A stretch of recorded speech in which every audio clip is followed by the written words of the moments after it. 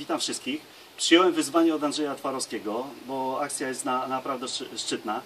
Yy, Piękna koszula oczywiście, wszyscy się będą śmiali, ale mam ją już od 10 lat, trzymam w szafie na specjalne okazje, także dzisiaj ją założyłem.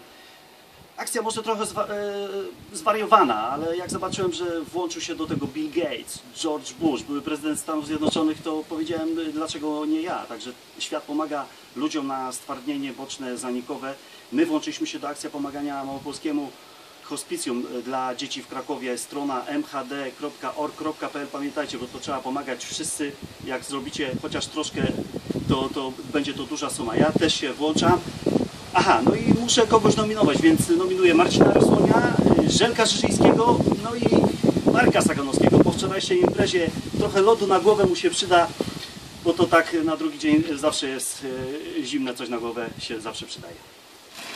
Oczywiście lód, żeby nie było, że jakaś ściema, jakaś ciepła woda. No wygląda to nieźle.